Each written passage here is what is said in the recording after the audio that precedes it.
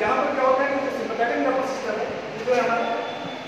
जो blood vessel है, वहाँ पर संपर्क सिस्टम होता है, उसको क्या करता है, उसको एक्टिवेट करता है जिसमें वेसल कॉन्स्ट्रिक्शन देन यहाँ पर एड्रेनल कॉर्टेक्स एड्रेनल कॉर्टेक्स जो है, ये एल्डोस्टेरोन सिंथेसाइज करता है। एल्डोस्टेरोन